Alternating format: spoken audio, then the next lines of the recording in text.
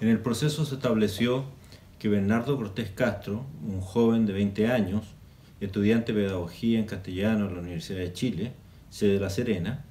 que pertenecía al MIR, fue detenido el 4 de abril de 1974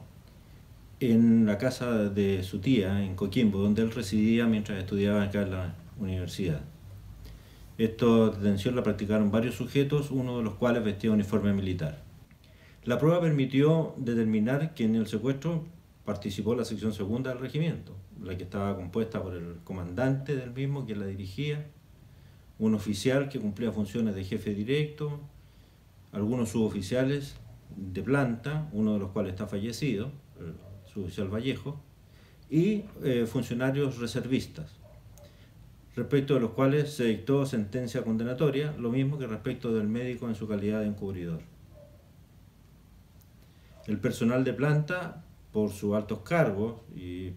en la sección segunda, por ser eh, parte de la, de la dirección de la misma, fue sancionado con penas más graves que el personal reservista y al médico se le aplicó la pena correspondiente al encubridor.